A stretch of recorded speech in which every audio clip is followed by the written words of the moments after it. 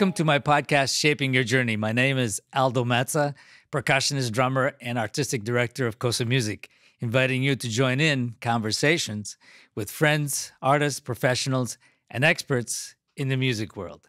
Today, I have the great pleasure of inviting uh, actually uh, one of my teachers and a great man in the uh, in our community, Pete Magadini. Thank you so much, Pete, for for joining us on this shaping your journey conversation.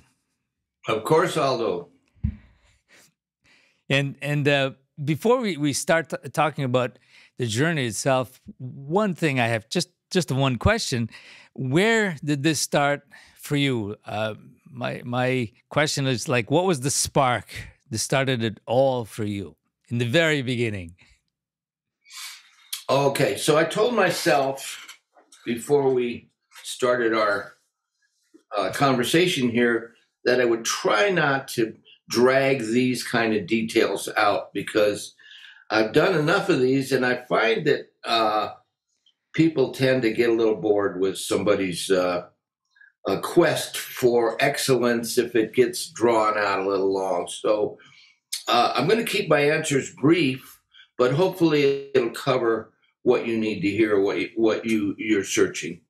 Um, so basically, I think like most of us, I was just a drummer all along because my parents used to play me uh, Peter and the Wolf, which was my really big uh, introduction to percussion, and and uh, they had a recording of it by uh, Shostakovich, and they used to play it when I was about three years old they used to like me. They like to watch me run out of the room when the wolf started coming. nice. So I really got into it, man. I knew all those instruments and, and all those animals that uh, they represented, and uh, and the next thing I remember, they, you know, my parents were pretty cool, and they they liked to swing dance. So there was a lot of swing music around my my house. I, I was born in uh, Massachusetts, in uh, Western Mass, and my dad was in the army, and so uh, they uh, eventually moved out to uh, California. And uh, when we lived in Palm Springs, um, I was about six. Uh, we went. They took me to the Hollywood Bowl, and I saw a snare drummer stand up and play something on the snare drum. I guess it might have been the L.A. Philharmonic pops pop series or something. But man, that got me. You know, I, that guy got up and played this snare drum part, and uh, I thought, you know, uh, it was it, that little bowl in Hollywood. You know that it's so you can see all the players really well because you're sitting up high like a football stadium. Yeah. And uh, I don't know who he was, but man, it, it, it I just said I have to be that guy. And when I got back uh, home, I was just ready to matriculate into fifth grade. I joined the band, and that's sort of how it started. Martin, the you know the school band, and in those days, they had band directors in the fifth grade and sixth grade because you, you had to be in the fifth grade to start playing. But there was lots of kids who took up instruments, and uh, uh, you know, I called that school a little while ago to say. Uh, you know, I started my playing career at, at your school, and they, they they hadn't had a band director or music in that school for forty years. Wow! Wow! Um, but I mean, it's amazing. In in many of the conversations that I've had with uh, you know our friends, a lot of them kind of say the same thing. In the in the schools throughout the country, there used to be a lot more um, as you said, the educators, but also programming and, and people interested in, in, in even on the grade school levels, orchestras and, and bands. I mean, wow, that's so, that's amazing.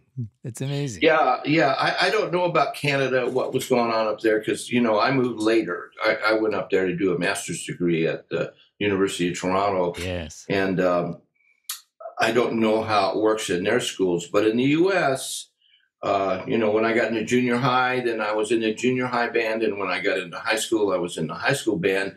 Yet to take a private lesson, or even sit behind a drum set until I was, you know, maybe sixteen, wow, fifteen or sixteen. But once I did, then uh, then I got busy. I started playing in clubs. Uh, I started playing country music in Phoenix. We were living in Phoenix by then. And uh, I, I, was a country drummer for a couple of years, and I, I really liked it. Those guys I played with, uh, they had to come and pick me up to take. Somebody had to drive me to the club because I was too young to, uh, not to drive, but I didn't have a car. You know, my, my oh, the only car we had was my parents' car. So the bouncer used to come and get me and buy, drive me out to Randy's Terrace in uh, Mesa, Arizona. Nice. It was a rough place, man. But the guys, the guys who uh, uh, I was playing with, I actually have a picture of that band. I'll I'll uh, send it to you. And you can maybe include it with this. Yes. Uh, somebody came in and took a picture of, of, us, and there I am at 16 or 17. Uh, but playing that, we're but, uh, enjoying it. I, I liked the songs. I liked the artists at that time, and uh, that's how I started playing professionally. I mean, I mean, with all of us, I think you know, once you're pulled to, to something, and I t- tell everybody, you have to follow that thing that really pulls you. I mean, some people call it your passion. I mean, that thing that you're that you, that really speaks to you, and you just go all in. And if you don't go all in, you regret it. Because well, you teach, and you probably have said the same thing to your students. Uh, you know, you ever have a good student who starts talking about, well, I don't know, I got some pressure at home. I, I think I, need to quit drums and, uh, you know, get serious about my life and, and, you know, and, and, and I said, you know, I tell these guys, I said, oh, good luck, because you're already there. You're already a drummer. It's it's in you. You know, you have to do this. Yeah. yeah. you, no, no, yeah. you can stop studying with me, but you're not going to stop playing drums. Don't kid yourself. How many students have you had as coming coming to you for lessons at 50 years old? Well, I've had them all ages, uh, Pete, and, and right. probably as, huh? as, you have. But I mean, you, you made me think of one specific. I mean, I have had many like that because what happens to you the moment it speaks to you, and the moment you see that you can do it, and the moment that uh, you you're seeing the people around you doing okay and doing something with it, then the question becomes, and actually the pressure becomes, as, as you just said, is are you going to be able to make a living with this? You, you know all of, of, those above those questions above. So there was one one uh, i won't mention his name because he was a, a, a great student of mine and now he's i think he's in, in the states somewhere doing his master's. But he had just finished uh, his college here which is CEGEP as you know and uh, he came to me and he started uh, just taking lessons just like that just to eh, augment his own personal interest and he got really good i mean very good really really quickly because you know the great students always listen to to the instructions and do they do the work they practice and they they're really into it and they really follow and and it get goes somewhere. And he was really good. Then he comes to me and he says aldo i love this and and i can see by the surroundings around here that there's a lot more in music than i thought so I'm going to take a year off before going to university, and I'll prepare to do an audition in music in one of the universities. I think at Concordia at the time. And uh, so he did, and and I said, but if you do that, I'm going to design a whole program for you to play, take piano, some theory, the whole nine yards. But you got to do this, and you and you're going to be ready. And then weeks later, the parents call me and asked me if they could have a meeting with me. You know, you know, respectfully, uh, they they want to support his their son, but the question, of course, I, I knew I saw it coming, and the famous question: uh, Is there really uh, is this a real career? I mean, can they can they do something in this? Can they succeed? Can they take care of, et cetera, et cetera? I mean, the two people were one was a banker and one was a doctor and who happened to be living in my neighborhood. And um, when they came to me, and I, I looked at them and I said, Well, you know, I know some bankers who really didn't do well, and I also know some doctors who really didn't do well either. But both of you seem to be very successful, as many are. I also know some musicians who didn't do very well, but I also know some musicians who did extremely well, you know, and I can name you a hundred of them immediately, and I did. And then they went on and said, Well, what, what would it take? I said, Just like anything else. Dedication, you love you love what you do, and you really become really good at what you do. and then you become unstoppable. And you you love what you do and you do well. I said we live in the same neighborhood right? And i think i did okay and nobody handed it to me. We work for it and we enjoy it. I, I love the work. It's a lot of work but doctors also work hard. They do well. So it really and they said okay well we'll, we'll trust you and of course now the, the the kid is doing super well and then they came back to me and said sorry about those questions i said i totally understand because you know, our Western society, especially, doesn't talk about that much, and and it's like, you know, when somebody asks you, "Can can you do this?" Of course, it's a lot of work. And when I was asked at, at a high school once to present uh, careers in, in, in, you know different careers, and they had a doctor, a lawyer, a, an accountant, myself representing the music world. So I walked in the class and I said to to everyone, I said, question number one how many people in this room listen to music? Everybody's hands went up. My second question How many of you listen to music seven days a week? Everybody's hands went up. And I said, Okay, so there are careers in music. yeah, right. There you go.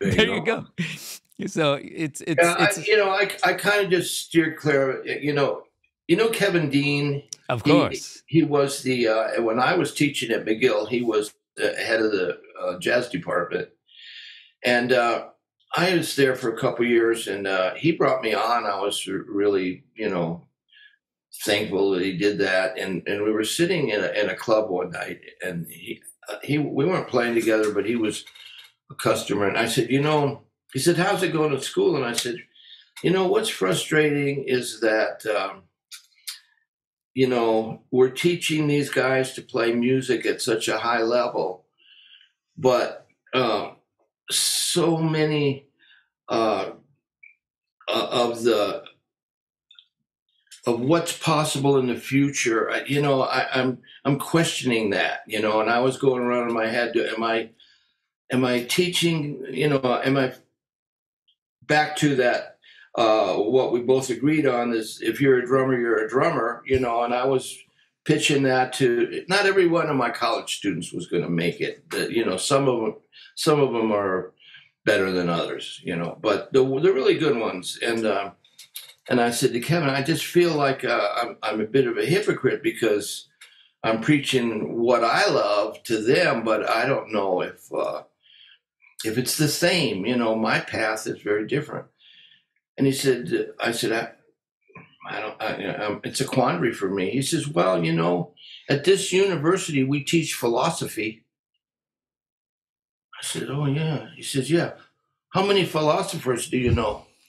I said, I, I, don't know any, I don't think. He says, Yeah, well, we have a whole philosophy pro- program. And and we have creative writing and you know and he, and he, he says it's not your job to to be there at the other end you know it's your job just to do what you do that's why we have you you know and I went, boy, that just cleared it up for me. You know, after that, I was, yeah, right. I can't, I can't answer every question. You know. No, no, and exactly. Like say, you know, it's yeah. it's hard work being a performer, but there's a lot of work in music that uh, not always about playing the drums. That's what we all love. We all love back, boom, back, boom, back. You know, we all love that kind of angst kind of groove, you know, that some guys play so well and get around the kit and, you know, all the things that, you know, we admire in our favorite players and why we do it because of those guys, a lot of them. But is one of, you know, I've had maybe a handful of students who have become, well, maybe two handfuls now, have become, you know, well known drummers who right. have, have taken it to another level and uh, and I mean you know big time players, and uh, that's a hell of a lot of work too. We got to move to the cities where the music is for the most part, and although that's different now, you know, yep. people are doing yep. a lot of stuff not living in New York or L.A. because yep. the studio scenes in those those in Toronto and Montreal, those the studio scenes have changed somewhat. People are recording at their houses and coming up with stuff. And I always tell my students, I said, you know, I said, there's an awful lot of bands out there who are doing well with original music, uh, and I don't know how good their drummers are, but they're good enough to play in those bands. And all of a sudden, I see them on a TV show or a, a big festival or something, and uh, you know, those those are all valid. It's, you don't have to go to the jazz club and wait to sit in, and hopefully somebody's going to notice you. You know, right? Yeah. No, and everything has changed so much now, especially with technology. Um, it's like exactly I yeah. mean, when we were when we were growing up, I mean, there was music like everywhere around you, bathing in it. Um, but things things change. I mean, they evolve, and and that's not necessarily a bad thing. I, th- I think you have to have change, and those who are have the appetite or the curiosity change with it. And some people even are ahead of the curve and and help make those changes, right? Um, but I think music yeah. music will always be there in one form or another and and the, the ultimate question is like like you said you're just tapping into the, the mindset and and helping them understand what they're doing and enjoying it more because why they're studying that in the first place is obviously they're interested. And whether they come out as we would say a studio musician i mean that was that's a thing of the past.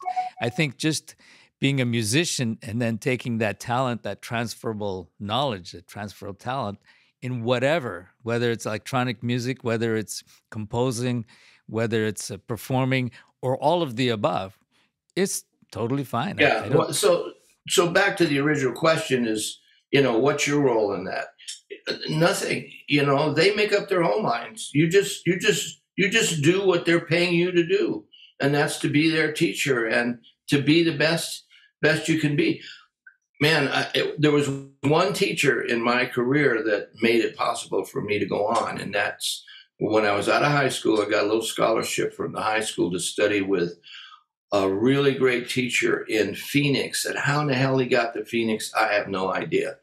But Don Bothwell, man, that guy took me under his wing, and uh, uh, you know he he caught me up, and uh, after a miserable year at ASU, uh, I went to uh, I, I, drove to New York, and I started. I met a young guy who was playing in uh, major jazz bands, uh, Newport Festival, and and all that. Started hanging out with him. He's an alto player. He was a little younger than me. I always think I was 19. He was 17.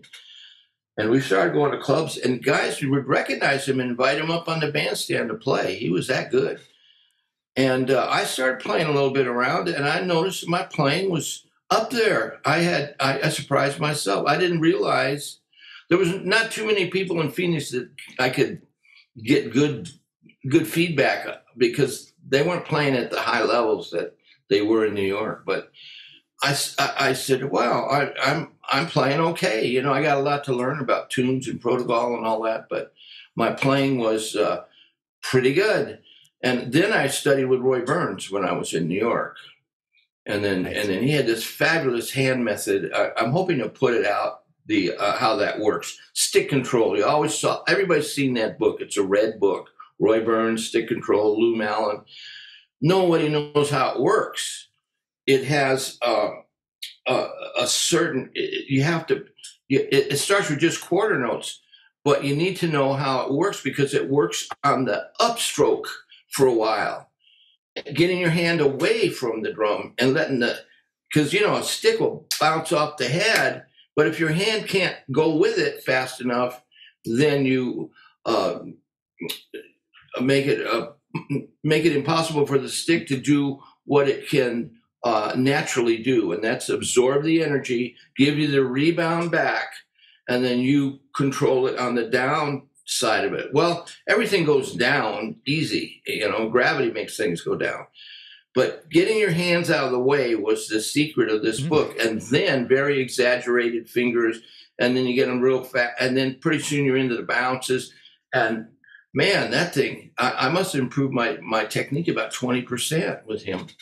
Nice. So that was cool. And um, uh, after that, I went back to school at the conservatory in San Francisco, and that's another chapter of, of my career. What made you decide to go to San Francisco from New York, though? Uh, well, because um, you know, my friend Larry, uh, the Larry Morton, the alto player, said you should go back to school. and I so I applied to Hunter College because yeah, it's the one I could afford in New York. Damn, I didn't have enough high school credits. You know, you needed a language credit and a, and another math credit to get in, and I didn't have those. So I went to the junior college in Arizona where my parents lived for a year, and then uh, my teacher Don had told me about Roland Kohloff, and Roland Kohloff was the timpanist with the San Francisco Symphony. And he told me what a badass he is. So I knew I was going into, you know, there was no jazz schools then. Right. You know, you studied percussion. And uh, and that was fine with me. I had I had enough jazz studies. And I went into uh, went to that school hoping to study with Roland. Uh, at first he wasn't there, but and I was only there about five or six weeks, and then he started becoming the teacher. And I stayed with him for two and a half years. This master musician who became the timpanist for the New York Philharmonic for 31 years. He just passed away about uh, uh, eight years ago. And uh, yeah, that was a, and he kept saying, I love your percussion playing, but you're a drummer. That's your thing, you know. right. Which was very cool. You know, he used to come out to gigs every. I played a gig with Art Pepper I was so nervous, man. It was like my first chance to play with a, a name artist, you know, one of the first. And uh, there was a club in uh, outside of San Francisco. They used to call me to play with their artists, and the, the first one was Art Pepper. And and Roland came out to hear me do that. He says, "Yeah, you sound really good." Said, oh, thanks. You know, as soon as he said that, I was like, okay, because I know I know what this guy listens to. He's a perfectionist, you know. Right, right but he was also a drummer. He played some drums. So I sent him. I sent him in to sub with me at the for me at the Playboy Club once to play the show on drum set. I told leader, I said, uh, I'm going to send somebody in. You're not going to believe who I'm sending in, but I think you'll be fine. So okay, I'll try to. well, a lot of the a lot of the great timpanists were really good drum set players. I mean, Vic Firth, Louis Charbonneau. Um, I mean, many of those guys played drum set, but and it's funny because in the back all of their Goodman mind, students that you mentioned there. Sorry. All Goodman students. Exactly, excellent. Uh, you you knew that uh, Saul Goodman actually taught in Montreal at the conservatory. I did know that, and and he, you know he told me once that Louis Charbonneau was one of his brightest students. Exactly, exactly. He named four, three or four guys, and Louis Charbonneau was one of them. Yeah. Well, he could play. He was he was badass. Yeah, you know, he's, he's one of the great timpanists who not everybody knows, but he used to sub for uh, for Vic Firth in, in, in, the Boston Symphony often. But here, I mean, he was God here. I mean, he was he he later became the teacher at, at the conservatory. Uh, and a lot of, I mean, Montreal was a funny place in, in that regard because you had the the Goodman School that was established, and then you had the Delécluse School of, of yeah, Paris yeah. that mixed here, and then you had guys like Pierre Béluse and uh, Guy, Guy Lachapelle, uh, who are like uh, incredible players who mixed all of that knowledge and all of that. Uh, um, mindset that the, the mindset of, of the percussionist and the the affinity that finesse of, of, of playing. Oh, uh, yeah. Uh, I mean, there's things you get. Hey, Steve Gadd studied with John Beck. John Beck's the teacher at Eastman School of Music. Steve Gadd has this beautiful technique, you know, beautiful finesse, beautiful touch. Yeah. And uh, I, I, I think a, a, lot of that has to do with studying uh, with classical guys, you know. Um, yeah. No, for now, sure. some and, of them can be hard ass, but they're usually not the better players. I had one of those in Arizona, and uh, he couldn't play at all. Man, he, he he froze when he got when he had to play something for somebody. I'd say, "Well, let me hear you play it." Well, I couldn't play it. I said, "Well, how you why are you telling me to play it like that? You can't play it." I, I got onto him after a while, you know. And then they had an audition for the uh, symphony for the timpani part, tim- a timpani chair, and he auditioned, and the local pharmacist got the gig. Because you know you were talking about guys who still are playing but went into another field. Right. So obviously, this pharmacist had spent time studying timpani. Yeah. So you know, I, I always tell students, you know, if you're if you're suspect about a teacher, ask mm-hmm. them to play what they're preaching. Yeah.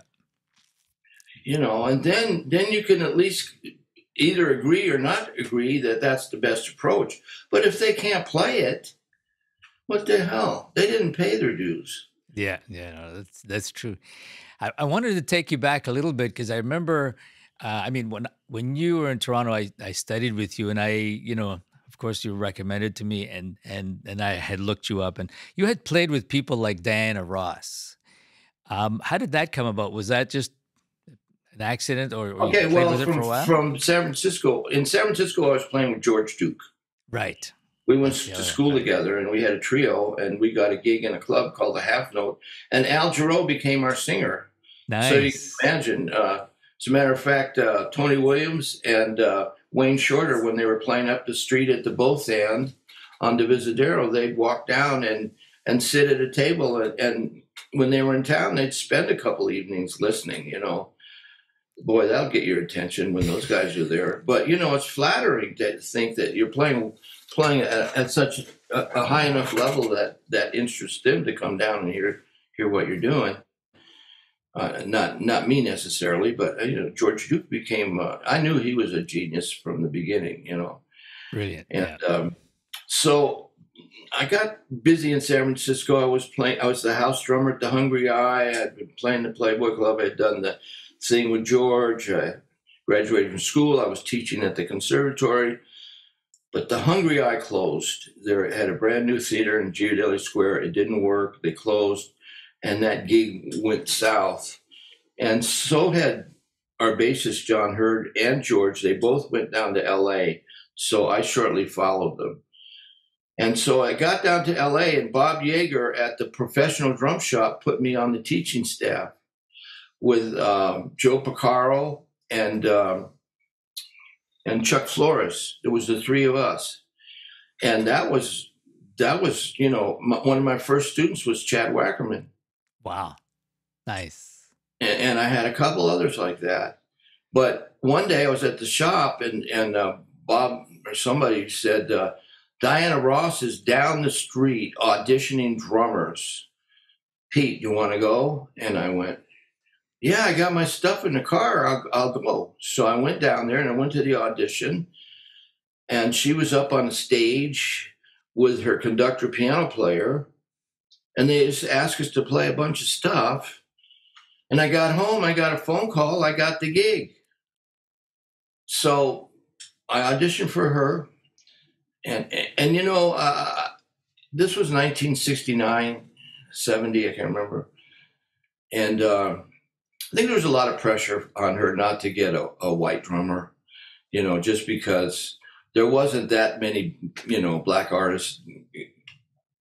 Now she was going out solo but she made Right. this decision. And actually if, if you watch her through the years her bands have always been mixed you know. Yeah. she's never she's been colorblind that way and i always gave her credit. She just she just goes with what she hears. And she she's got great she got great pitch and uh, and she's uh, terrific time she was easy to play for because i mean once she got she and i had a duet we did where she danced and i played right just the two of us Okay. Wish we had a recording. Of course, I never thought about it then.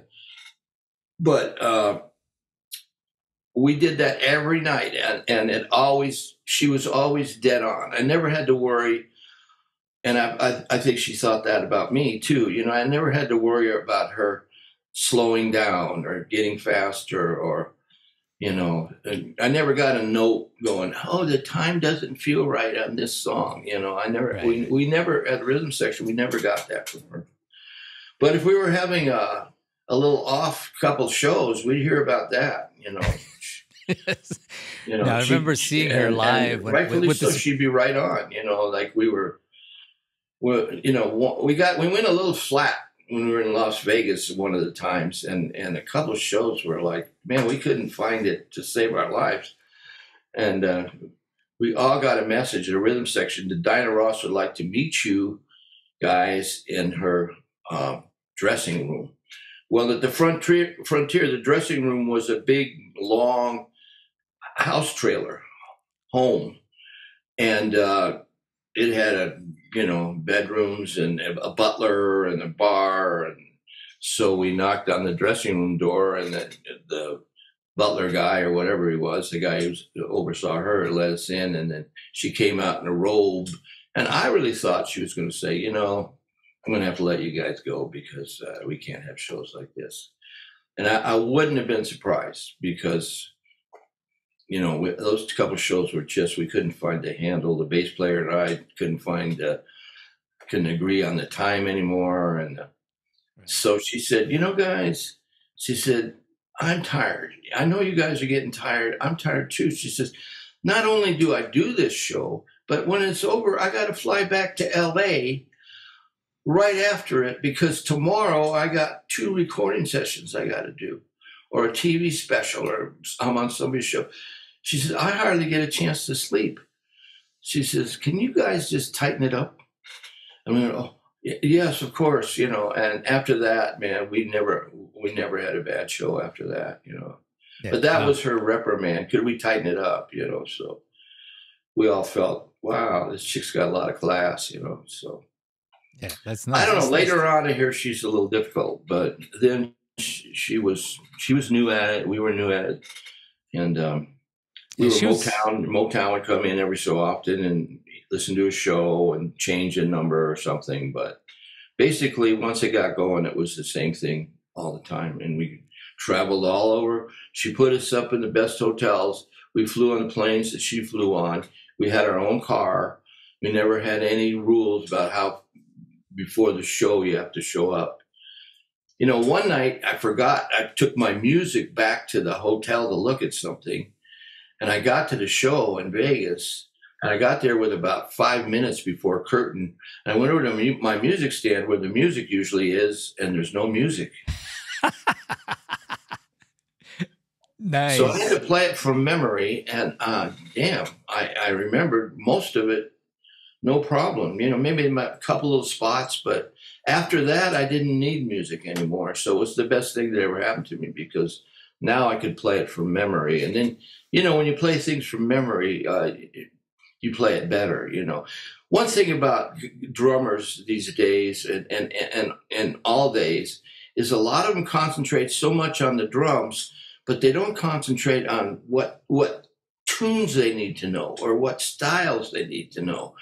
You know, when you sit down with a band, they're going to play something, and you should know at least what the form is, if nothing else, because otherwise you're just wailing out in the dark, just producing beats like a metronome, and you're not really right. contributing to the music you know, jazz drummers, the good ones have a large vocabulary of what you need to play and what you, the forms of those tunes and where to put fills and how the fours work or how the form works or what style. When does it go into Latin? When does it go back into straight? Uh, all those things are critical to what we were talking about before to be a professional drummer. Yeah. Because when you sit down, you better have some pretty good ears. And uh, one thing about studying uh, in a classical school, and I'll end with this, is that one of the reasons is I just want to keep improving my ear.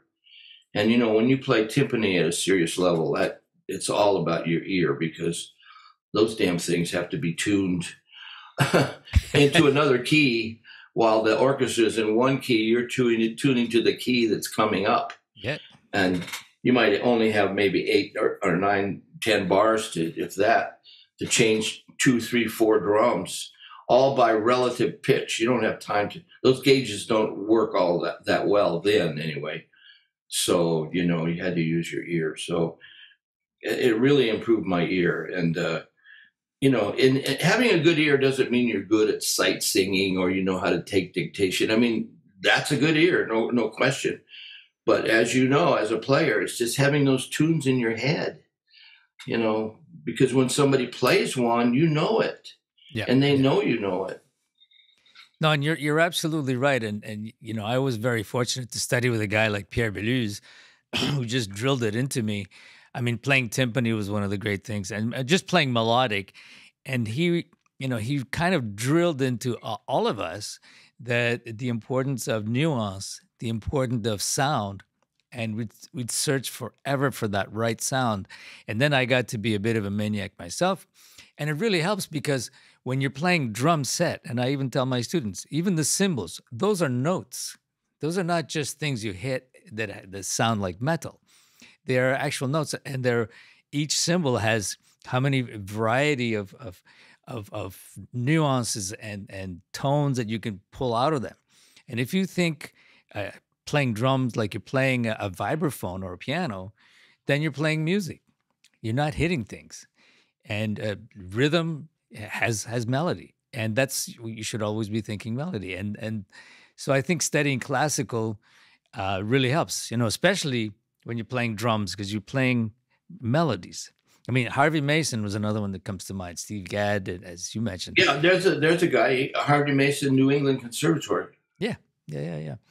He went and, through my book, uh, Polyrhythms. One another one. Uh, Jeff Watts, Harvey, Harvey Mason, Steve Smith, uh, some of the top players I found that because they used to teach the teacher there used to teach out of that book. Those are required. Uh, I wish I could remember his name. He, he taught a lot of great drummers at the New England Conservatory. Frank Epstein?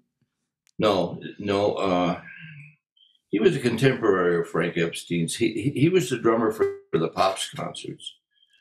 Um, I can't remember who that might be. But that's a, right that's a great book that you wrote, by the way. That uh, I mean, a, a lot of people have used it, and I think I have three three different versions of it because I wore out the first one, and then of course, you know, you it falls apart, and it's very well thought out. yeah, it's the same book with three different covers and two different titles. But I only wrote two books, but they have this one. This is my more most ambitious book, Polyrhythms for the Drum Set. Yeah. And this takes you into polyrhythmic independence. And um, I'll find you one of the solo pages here because it demonstrates a lot. But it's a it's a great book to break down and learn. Yes. Now this is uh, quite advanced, but here the the the pattern bass drum and and and left hand snare drum is in six, and the rhythm above is in six, but we're in four. One, mm-hmm. two, three, four. One, two, three, four, five, six. So the, all that is in six over the four. Here, this middle section is in four, but the ride cymbal's in six. And here's in four again, and the ride cymbal's in six. And you can see it's fairly complex. And to play this independently, you have to work up to it. But what it gives you is this ability to now play. You know, there's, I'm going to be brief on this there's four four time, and then there's six over four, which is one and a half times faster. And then there's double time. That's a polyrhythm, twice as fast. And then under here we have three against four, four, five, six, seven, eight. Four, four, one and a quarter faster, one and a half times faster, one and three quarters time faster, double time, and three quarter to one. So I, the question comes up why do you need to know these? Okay, here's my answer that after all these years. If you're driving in your car and it's nighttime and there's no other lights except your headlights and you're going down the highway, you kind of have to just stay in the lane you're in. You have no idea what's on the right or the left. You know, you're just kind of staying where you have to stay because it's dangerous otherwise, right? Right. But as you learn how to play in these ratios, the lanes on both sides begin to open up. And now you can see this whole highway or hear the possibilities of what, even if you're just in your lane, just knowing that you can go a little bit this way or a little bit that way, or actually shift over into this time field. And, you know, Elvin was a master at it. You, you, couldn't have this conversation with Elvin. He probably wouldn't know what the hell you're talking about. But he knew it. He did right. it anyway because it's there. It's I didn't invent this shit. Sorry, you'll have to bleep that out. you know, it, it, it's it's there, Yeah. and you become such a strong player. I don't care if you play jazz or funk or anything. You're down the middle becomes so strong because now it's a big wide down the middle. It's not a little narrow one. And that's know, the whole Africa. That's the whole African concept is a pulse Yeah. and the, the whole variation of Yes. interpretation around it. No, no, and and I tried this. Not unlike you. I tried to stay away from ad- ad- identifying. Oh, this is Indian and this is African. I tried to stay away from that because that was a another whole thing that I, I wasn't an expert at, at all that. You know, I studied African music with Russell Hartenberger, and I got some of it down, and and I studied uh, uh, timbales with Willie Bobo's top student uh, and sub in the in San Francisco. I'm a pretty good timbale player, and uh, you know I, I I appreciate Latin and Brazilian and all that, but all this is generic. You can take this concept and just play Sure. it, use it. It's it all happens in your head, you know. Yeah. No, but Yeah, what I what I really appreciate, Pete, is is the and and you wrote this book a long time ago. I mean, it really it helped certainly helped me understand, you know, um, how to drive that uh, on that lane, and then down the road when you had to break things down, how to really understand it, having uh, uh, your pulse at, at where you're sitting, basically. So you you did a really uh, really nice. I remember that book. Was it green or orange book? The original. It was green, yeah, the original one. Yeah, the it was- original one was green. Yeah. The, this one is the other the polyrhythms. The, the regular polyrhythm book is um, Musician's Guide to Polyrhythms was called, and now it's called Polyrhythms Musician's Guide. And then there was two two versions of it, and they put it into one, so it's you got everything. But you know, I learned that from studying tabla, and the tabla teacher taught taught me about time ratios. And once I got that together, I said, "Well, how are we gonna how are we gonna learn this with our music? We don't we don't have a syllable uh, system, you know, like the Indians do. We don't have da din din da da din din da terikete. We don't have that, and uh, the Africans, that's not written out. You have you've got to have a, a musicologist to go in there and record it and then trans. So, uh, but he taught me about time ratios, and once I learned these, you know, time ratios, these um, then I was simple. I just used quarters, eighths, triplets, and sixteenths from our system, and I put them into four, four, one and a half, uh, one and a quarter, one and a half. Now, one and a quarter is five over four. That's a hard rhythm. When are you going to play in five over four? Well, hardly ever, although guys are doing it now.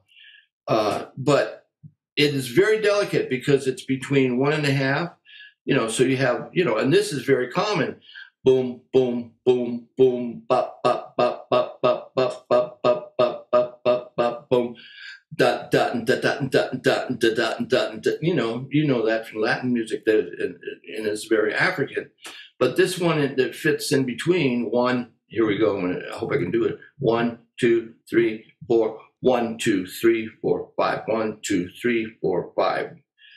That five is delicate because it's right in there. But if you master that, you're you're talking about fine tuning your cymbal sounds, the fine tuning your rhythmic sounds.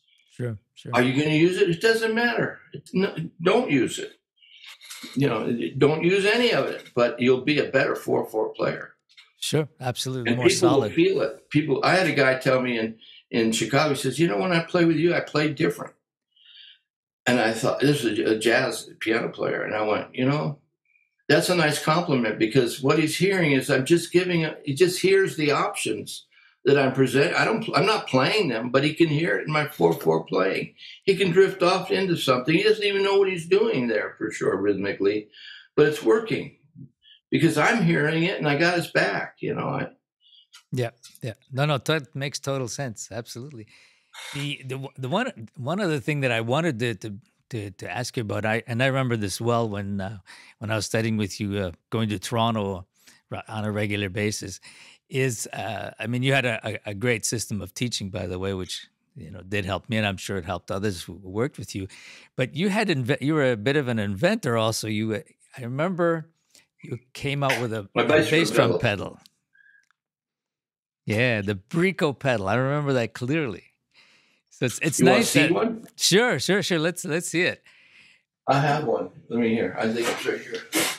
No, I remember the uh, it was a big, great, uh, really big board that was movable, and you know I think what what happens in in many of us who uh, who are creative, uh, we move around and in the creative, not just in the drumming, but in in instrument or or things to solve our, the issues that we think are problematic, and, and we solve them for ourselves.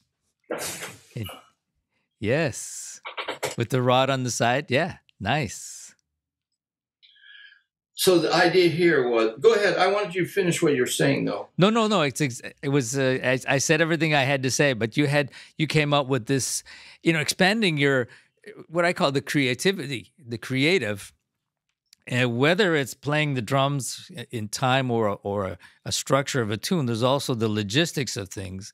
Um, you you know, I've I've come up with uh, over the years many ideas that I've finally, because of COVID, I was able to patent them. finally, Oh, yeah, after good, these years good. and they're coming out. I mean, there's a bunch of things. One, Manhasset is coming out with a, a, ma- a mallet stand, and you know some other things that are coming out soon. I can't talk about it right now because it's actually Yeah, right, right. in the middle of it. But it's that creative, and and you're always creative in that regard as well. Uh, Let's show Well, the, my, the my dad was a structural engineer, so th- that that guy was. Uh, you'd go to the beach and he'd build you a, a hotel out of sticks and logs. You know, he was that kind of guy, and um, so I might have got some of it from him.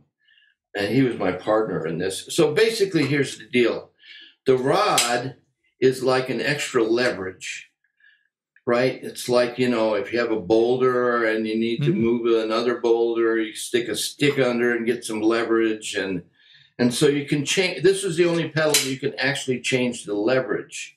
Not only could you change the uh the uh, uh, uh, The resistance Yeah. with springs, but you could change the leverage. Man, it got a lot of attention. I was selling them and dealers, but here's what happened this darn thing right here. Now, this is this last one we had, the thickest one. This is gymnastics cable. That swedge would eventually, for some players, break. Guys write me today, they still have my pedal. I never had it ever break, and but I couldn't even have it break for one guy. You can't imagine. I couldn't imagine a guy on a gig just bought this pedal for $150, which is a fair amount of money when this was came out in the 70s. And um, and we couldn't figure. My dad's an engineer. We had and would say, why didn't you use a chain in the sprocket? Because Don Lombardi had a patent on it, and he wasn't letting anybody use it until the patent ran out. These are all DW parts, except for that. You know, we were buying a lot of our our parts from DW, but they wouldn't let me. So I was stuck with this. And it made so much sense that even DW for a minute went to the cable themselves. We talked about that once at a NAMM show. He said, You know, we went to, I said, I know, I saw the ad. He said, Yeah, we didn't stick with it very long. I said, Yeah, right. And they had a little thin cable. We kept beefing it up. So, anyway, you know, this adjusts, you can adjust this you know, there's a lot of things on this pedal it could do. I, I still believe in it. I, I mean, now if we put a chain on it, I think you'd have exactly what it should be, and it would be a a pedal that would be a contender of some um, of some sort. I think, but you know, Sure.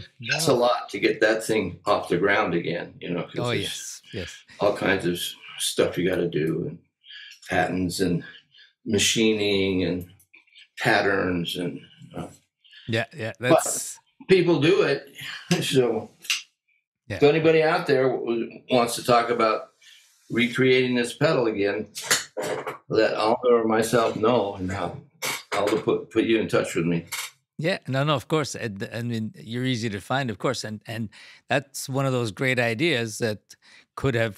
I mean, it's it's like the original uh, sprocket pedal. It was uh, Frank Ippolito in New York. Exactly. Yeah. Yeah, and I I have two of those pedals by the way because I used to study in New York regularly, and I used to go to the shop all the time. And one well, day he's young.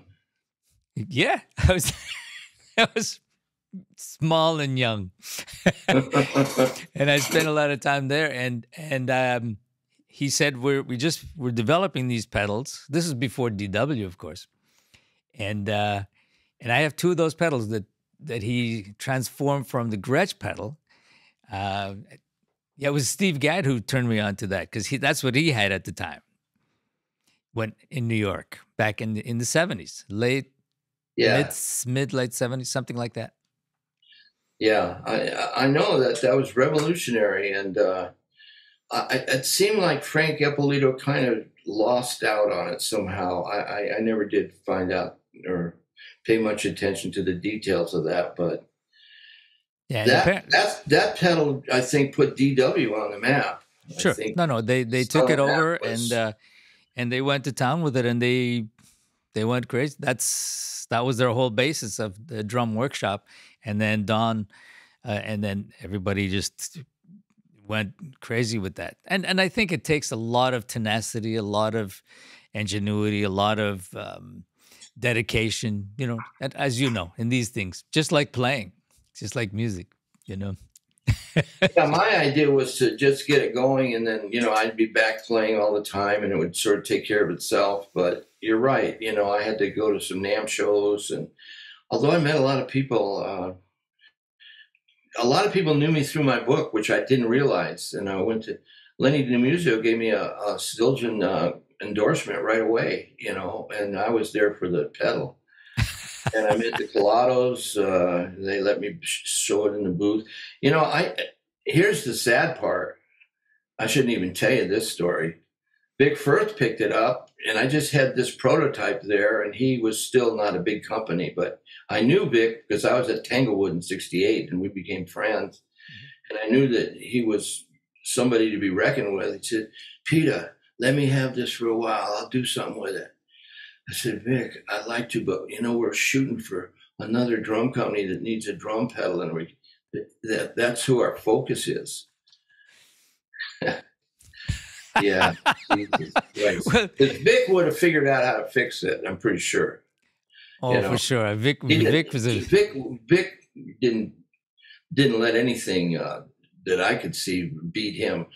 From playing difficult percussion parts Yep. to dealing with uh, problems with his company and manufacturing and all that. I went to the uh, Boston Symphony uh, uh, uh, dressing uh, uh, rehearsal stage, and I, I, I, at the uh, entrance there was uh, mailboxes for all the players in this orchestra. So I just wanted to say hi to Vic, and uh, I wanted to see if maybe they might be having a rehearsal that day. I happened to be in Boston for something, and uh, I said to the uh, the guy uh, who was uh, the, the security guard, I said, um, "Is Vic Firth here today?" And he, he said, uh, "No, he's not here today." I said, "Oh, I want to leave him a note, but I don't see his mailbox here." He says, "Oh, his mailbox is there," and he pointed to the floor, and there was like two big bags of letters. wow. I said, "How often does he get these?" Oh, about every week. And I know Vic, he would have answered every one of them. They wanted to know about his sticks because remember he was making classical drumsticks. Yes. I had I had some original pairs of his, and uh, they were like the best. You know, if you if you were going to play classical snare drum, you had to have big big first sticks. And he was And- just getting this stick thing going, man. And, Yeah. You know, it looked And- like to me like, well, he's going to have to stop this. How can he play in the orchestra and take care of all this at the same time? But Right. he did it. Here's the here's the funny part that I learned only much later that um, when Vic Firth's original drumsticks were actually made in Montreal because Louis Charbonneau turned him on to the place where he was making his sticks. Contemporary, uh, though they were contemporaries, and they're both making drumsticks. I still have the originals myself, timpani and uh, snare drumsticks at the same time and um, the original ones were actually made in the same place that Louis was making them in Montreal. and then well, and you know uh, that that, that doesn't surprise me because uh, we went to my wife's French Canadian, yes, and Fran- uh, we went to an event. correct? What's that? Francine. We went to an event uh, with Vic. Uh, he came up to the Bay, Bay Area for something uh, about ten or twelve years ago, and uh, maybe a little longer. How long is when did Vic pass? Uh, Mm, maybe ten, huh? maybe ten years ago or something like that. Yeah, was, not so, so it would have been about 12, 15 years ago. And then I introduced my, he had a Canadian wife too, for a Vic. And I introduced him to Hélène, and uh, he said, Oh, wow, French Canadian. He says, You know, French French Canadian in Quebec, that has a lot to do with my drumstick manufacturing. And he said, uh, As a matter of fact, there was an old uh, French uh, woodworker who taught me a whole bunch of things about how to make the stick, you know. And um, yeah, he was he was quite um, uh, grateful that he had known these uh, you know French Canadian uh, craftsmen up Yeah. in uh, uh, lower Quebec and upper United States because I think he made them in Maine, right? After well after, Maine? afterwards was Maine and then around yeah in Maine but originally they were done here and then when he got bigger production um then he he moved his operation down there and, and then he bought the the the, the factory and I mean the, the rest is history of course um I mean he was he was a very another creative type that um you remember he he came out with um uh these uh kitchen fruits wood Oh yeah, fruits yeah, yeah. Kitchen kitchen implements, uh, salt shakers and pepper mills and spoons and yeah. So, and I asked him once. I said, "It was amazing. You've got." I said, "This is the best pepper um, Grinder. grinder that I have ever seen. None of them ever work. Yours does." And I said, "But Vic, how, how, like, where does this come from?" And so he said, "No, it's a funny story because." He said, "My he said, you know, my mother was Italian and she spent a lot of time in the kitchen, doing all of these things. So uh, when I started getting interested in the woodworking things, uh, which was the sticks, etc., then I decided to make some things to to complement the kitchen. So he had this whole whole other thing going that none of us, I don't think, had any idea of. But he was it was huge, right? Yeah, yeah. Are they still doing that? I don't know. I never. I, I. I am not sure. I I didn't follow that, but I remember having that conversation and laughing because I had this and I, I and I saw an uh, an article in the Gazette at the time on a Saturday paper. They did a, an article on these shakers and and um and, and and then it said you know made by this manufacturer it was a stick manufacturer. And I so I called him and I said Vic how, like where did this come from? That was funny. And this is what I'm saying about the creative. You know whether it's drumming or music or, or anything is still the creative mind that takes you in this into, in all of these places. And it's fantastic. Yeah, well, that gets back right back to what we were talking about originally. Yeah, You know, who knows? Who knows what's going to happen? How's this going to influence your life? exactly Me, I, you know, this is what I do. I mean, I never did anything else. Period. So I always try to play as at the top of my game, and and and um, because of my percussion background, I think my attitude towards playing all styles of music um, became uh, prevalent because I, I never just I never considered myself a guy who only played jazz or only played funk or only played country. I, I, I like to think if I'm playing it at that time, you think that's all I play. Sure. You think that's all I play. That's my goal, but it's not what it's. That's not true because I can switch and you know I'm a switch hitter, and uh, and Good that's term. that's made it easier for me to you know get a lot of work that uh, maybe some guys can't do. And also, you know, Aldo, as you know, man, everybody has to get their reading together. I don't know why that's such a problem for a lot of students, but they still rebel. Reading, I say, yeah, you want to be the best reader in the band if you can if you can swing it, but you won't be because the lead trumpet player is probably going to burn you on that, or you know, somebody else. If you're in a band that's reading charts, but the thing about reading charts means that when you get good at it, reading is your best friend. Yeah. They just put the, ch- and you're playing along and you're playing the tune. Never heard it before, and you sound like you've been playing it for sure.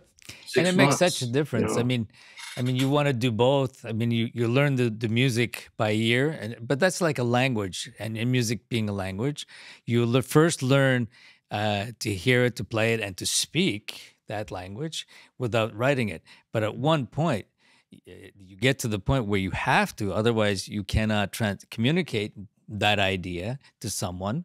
Uh, you can't read it if somebody sends it to you. And, and and then you get so limited. I mean, as you know, you can go in and, and read a show blind, and I've done it hundreds of times, where I've never seen the music.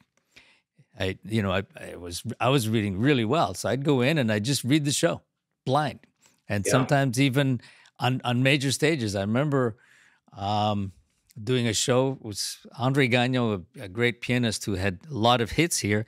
They called me like three days before that the percussionist uh, couldn't do the gig in, in, in at the Kennedy Center in, in Washington, and they said, "Well, here's the music, um, and there's no rehearsal. You're on stage."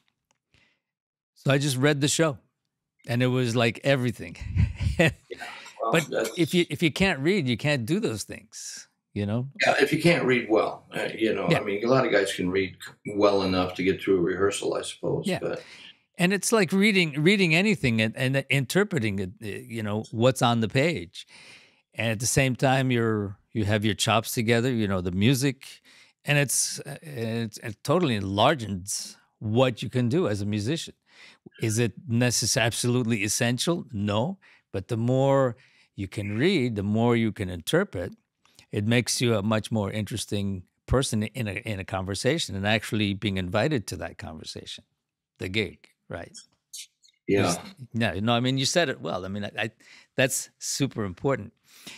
You know, uh, one of the things. Uh, so when I got to Toronto, uh, John Wyre and Robin Engelman were both the teachers at the University of Toronto. So that was the start of Nexus.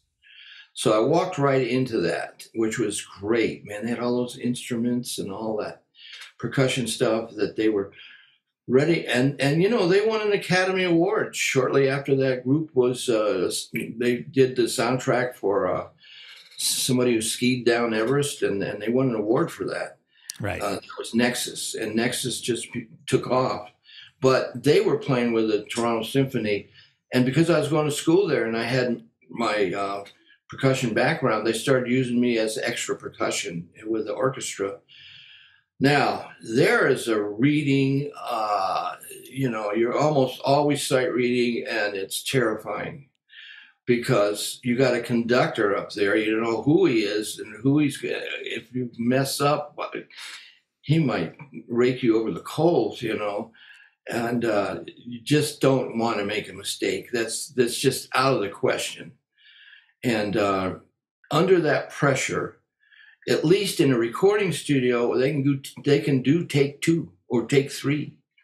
You know, you can still be reading well, but hey, maybe you need another run, another run at it. That's that's perfectly acceptable. But in a symphony orchestra, they don't have any take twos. It's like here it is. It's now or never. You do it. You want to work the next gig, you better do well this one, you know. And those guys in the orchestras, they get so relaxed with it. Oh man, they just make it look so easy. But I, I'm glad I had that experience because uh, when I was doing a lot of studio work in Toronto, and the Toronto musicians are really good, man. You know, those guys aren't kidding around, and um, especially in the studios. Yeah. And so, uh, you know, all that experience really, really helps. So, it, will- you know, if somebody asks you to read a show and it's not paying as much, as much as you like, well, if you don't have a lot of experience in reading shows, maybe you better take it, you know, just to see what that's like because it's not all about usually just reading the music, as you know. You got to put things down and grab things and what do you do here? And they know, well, they want a wood block and they want some other stuff and how are you going to choreograph that. And you know, yeah. there's a there's a an art to that too. So oh yeah, yeah, yeah, yeah. yeah. No, but you know, that's not the glamour side of playing drums. That's the money side of playing it. You know. Occasionally, I'll go to a show, and if a guy's playing really well, I'll stick my head down in the pit and say, "Yeah, man, sound beautiful." You know, he's all surprised that somebody was listening. You know. yes. Yeah, but it's also a lot of fun too because it, the challenge of of like you say, the choreographing of of, of it all, uh, and sometimes it gets pretty hairy, especially in those some of those musicals that uh, it, it gets pretty hairy just as a challenge of being able to be awake, one step of, one step ahead of everything, and and remembering, and how to how do you set up to make it all work? Yeah, it's yeah, uh, so true, so true. You know, I did Les Miserables in Montreal. Remember, it was in Montreal. Yes, yes. I yes. played that show on drums, and the drum part was also kind of a percussion part. But they told me Uh, they sent me the music way ahead of time and they sent me a tape. And they okay. said don't pay attention to the setup on the score because the pit in montreal is going to be too small so just make it work. So i arranged the drums and thought i had a pretty good handle on it. You know i couldn't hear from the tape. It was like a on the road version of the show. I mean, it was the show, but it was taken. Somebody made a tape of it in the pit. You couldn't hear much, and it was kind of confusing. But I got I got the gist of it. We started rehearsing in the uh, in the uh, uh, foyer because they were still working on the set, and we worked. We rehearsed for about a week and a half, and then we moved the whole thing down into the pit, and we started doing run throughs from beginning to end and in the middle of one, in, in at the intermission of one of the one run throughs, the contractor said that the conductor and the conductor from New York want to see you in the hall, see you in the auditorium. Oh Christ, what the hell? So I went out there, and they went, you know, Pete, uh, we kind of blame ourselves because and I started hearing that, and I was like, "Oh no!" Oops. I, I had canceled work for a year. Uh, it's nine months, and uh, you know, I, I, was like putting it, all my eggs in this basket because uh, it paid well, and but it, it, took you know eight shows a week, and uh, they said we normally invite a new drummer to go, come down to New York and sit in the pit and listen to the guys play the show, so you know how the setup is because we're not hearing the sounds that we're used to. I said, Oh, so what are we going to do? They said, Well, we're going to bring in a sub from New York and he's going to set this thing up right. And then he's going to play it for a couple days. And if you can get it together by then, then you got the gig. Oh, man. Wow they took everything that I had put, you know, all the choreography and set the sticks down here and tunings and all, changed it all. It, the rototoms were here, and the, the, lower drums were over here, and uh, all the accessories and everything was just in. And plus, where I had the stickings all worked out, they didn't work anymore. And there were some numbers in this show that were really demanding you know, the battle was one of them. It was like one, two, one, two, three, one, two, three, four, five, one, two, one, two, one, two, three, four, five, six, seven, one, two, one, and all on like that, you know. If you get lost, yeah. you're you'll never get back. You'll mm-hmm. never get back. And uh, although I practiced that thing until three in the morning, and then he'd play it, and I'd play it, and he'd take notes, and then he'd play it, and I'd have some questions, and I'd play it. And finally, it came down to dress rehearsal, and he was supposed to play the dress rehearsal. I was supposed to play the rehearsal. I said, "Man, play the rehearsal. I'm going to do the dress rehearsal." I wanted to hear it one more time. So that night was dress rehearsal, and uh, I got through it. You know, I got through it in three and a half hours, and uh, I had fine. I put so I, I I, I tested myself to the limits, man, because sometimes I was going, well, you're a professional, just make it work. Sure, sure. Yeah. No, that's a great story. That, that reminds me of uh, one summer. I was still a student. Pierre Béluse comes into my studio. I was practicing. He says, "What are you doing this summer?" I said, "Well, I'm doing this. I'm doing that. You know, says says cancel it. I can't do this gig. They're hiring their musicians in Montreal. It's the original Broadway production of Fiddler on the Roof with Fyvush Finkel and all of these people. The conductor is Anton Coppola, the uncle of Francis Ford. And it's a two month tour. Here's the number. Call the contractor. You're doing it. Bye. Ah. so I said, sounds like, and I had done, you know, a, a number of musicals before. So he knew I had, you know, I had the experience of musicals. And so everything was done. I flew out to Vancouver for the rehearsals. And I, but when they told me how much money I was getting, I couldn't believe it. I said, it was, yeah, I was hallucinating. I said, that's, yeah. that's incredible. They must have made a mistake. Yeah. I said, oh, what, whatever. So I flew out there and I, and, and I see two books, the drum book and the percussion book. And, you know, I'm used to going in early and setting up and, you know, making sure I'm set up. So I said, okay, which one am I doing? All the gear was there. So I said, well, it's Pierre Béluse being my percussion teacher. I must be doing the percussion book. So I set up the whole percussion thing, you know, the bells, the timpani, uh, xylophone, you know, everything. The conductor walks walks in, Anton Coppola. He's like a little Toscanini. And I introduced myself. I said, I'm Aldo Mazza, your percussionist. Um, I, I, uh, I'm, I'm in early and I'm all set up. But who is playing the, the drums on this? So he looked at me. He says, You are. I said, Oh, I'm not playing the percussion. He says, No, no, you are playing both. And that's why we have two extra rehearsals. Whoa. Yeah. I said, Okay, now I get it. So I had to wow. set up, and it was like I was playing they drum set. Why they do that to percussionists so much? It's unfair, man. You know, they think you know you get really good at doubling up, and then and then they triple you up, you know, or something. They do that. Oh, that was amazing. So he says, so we'll have to like we'll have to integrate both because uh, some of the parts you can't possibly play xylophone and drum set going at the same time. So we'll have to figure out what stays, what goes as we go along. So here's the whole the whole first rehearsal would be we, would stop. He says, Aldo, measure 42, play the timpani. I need that cymbal there. Take out the xylophone part. So we'd be doing that all along. And so, and I, and I was 360. My setup had to be 360. Yeah. I, oh, I, yeah, man.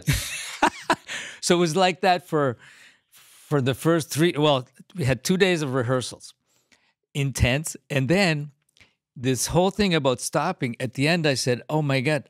The, before the opening night, I'm, I'm in the elevator. Some of the people from the uh, stage were there. Fyvush Finkel is there, who was remember Picket Fences that show him, and uh, Ian Finkel's father, by the way. So these guys, you know, I'm saying to one of the guys, I said, I don't think I can do this. This is crazy. I I can't remember half the stuff. I'm going bananas. So the other guy said, "No, Aldo, you're doing you're doing great." And the guy says, "Oh." Fyvush Finkel says, "Oh, so you're Aldo." Uh. I said, "No." Uh. so uh, my name became part of the show because in in in the this is the funny part.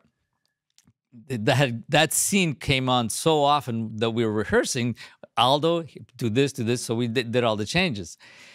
So during the show, there's a part where the in in the in the actual show where somebody they're looking for a name to name the child. So they're looking through the book and they're going through names, you know, and Jacob, David. Yeah. So they added Aldo to the name every night. Opening night, they're going Jacob, Jacob, David, Aldo. And I mean, I was like, the orchestra fell apart for 10 seconds, you know, because everybody's laughing. Yeah. So yeah. the whole show, I had to live with that because they would do that every night. that happened to me once. I, I was playing with this group uh, in uh, uh, Toronto, I, guess. It was a regular just stage play, and I knew some of the players, and they had come to Montreal, and they put the stage play play on, and uh, so I'm just watching the show. It's not a musical or anything, and and one of the characters says so where were you today? And and it's a packed theater, right? And the other character says, oh, I went over to Pete Magadini's. I was over at his house, and they they said that on stage, right? And I was like, "Wow, that's me!" I was like, I couldn't believe it, and I, looking around, of course, nobody's laughing or anything. It's just a name to them, but yeah. nailed yeah. me with it, man. I, I thought, oh, you guys are good. Yeah, it's funny. So, and- um, you know, I went to Chicago, uh, so I moved moved back to Bay Area. I played in a, a, nice little trio, jazz trio, for about thirteen years at a jazz, at a restaurant, and then I moved to Chicago with my wife, and our son had been living there, and I, and I hung out there, and I got to know some of those players. There's some great players in Chicago, man. They are some yes. great players there. A lot of them don't have the national reputation as New York players for whatever reason. I guess they just don't have the uh, the uh, publicity that. Uh, well, sure, New York, New York takes up all the, uh, you know, everything. Yeah. But I stayed there for six years, and then I moved here to Boise, and now I'm teaching at Boise State University. Ah, nice! Congrats! I saw you in Chicago. Associate percussionist yeah. and uh, drum set teacher. Nice. So I got a university position late in my life, but it's been uh, just perfect for me. And uh, so we're out here in the country. Uh, Chicago was getting a little uh, dicey, and um, not not the music music scene, but the politics were getting out of hand, and uh, as they still are, I think somewhat. You've been and, moving around quite a bit, and that that's very interesting. I mean, coming up through Toronto, and then you were in Montreal. You taught at McGill at Concordia.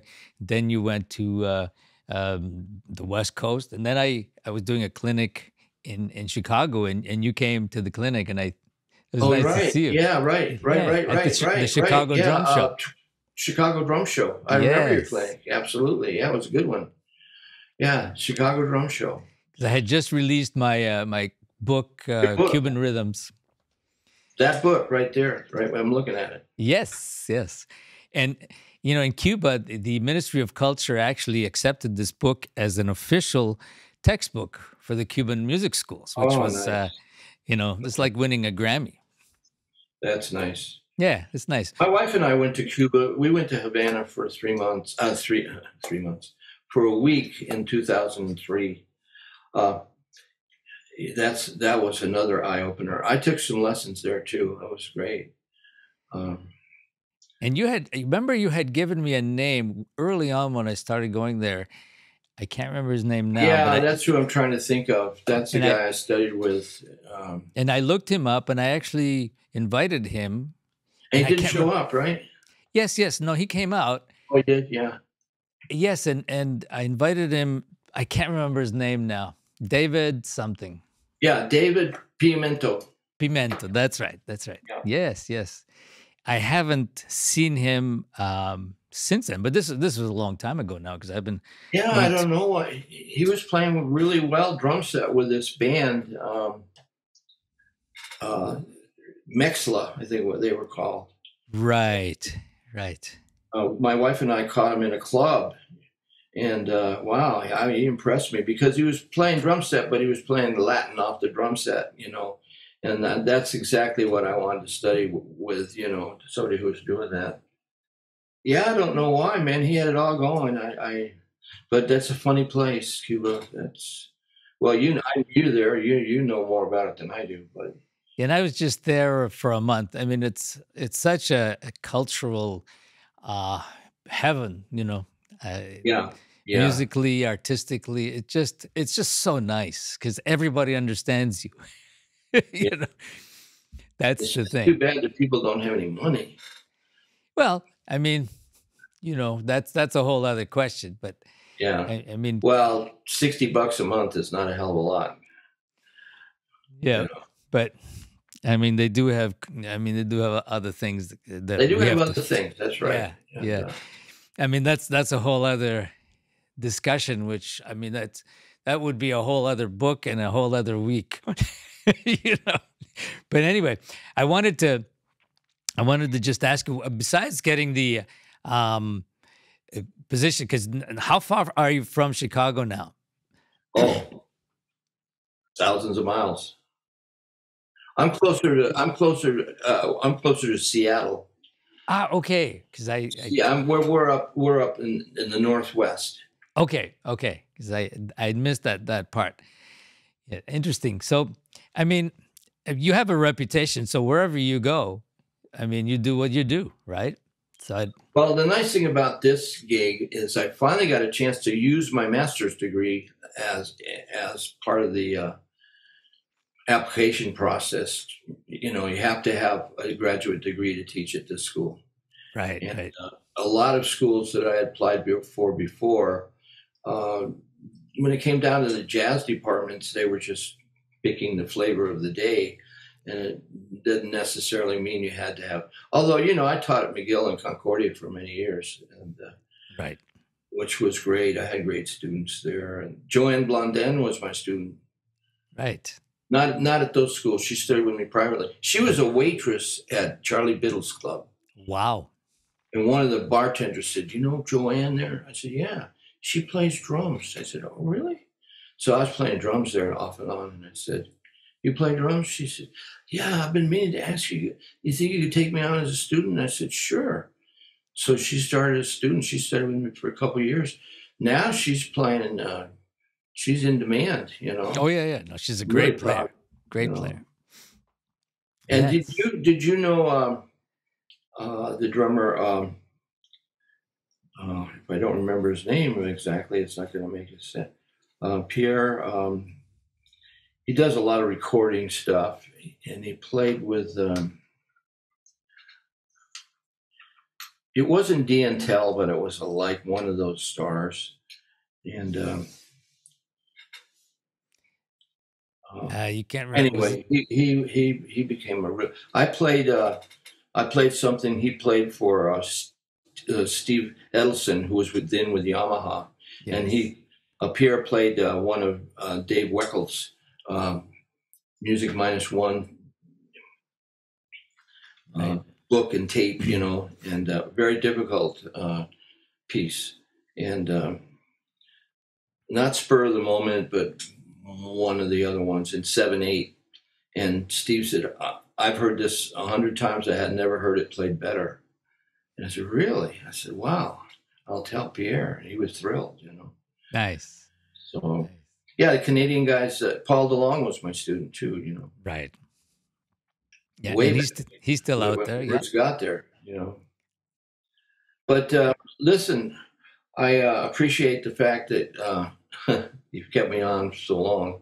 Hope we haven't lost everybody. I but. mean, you have you have influenced a lot of uh, a lot of people, Pete, and I do want to thank you for for joining me today and, and sharing some of these uh, experiences, some of these thoughts, and you know, what because what's important is not necessarily what we've done, but that that process, what what drives us to, what decisions we make that takes us to to certain places and end up where we end up you know and, and, these are decisions and and people opening doors or or thoughts that come to our minds and you just follow your path right? And you shape your journey right?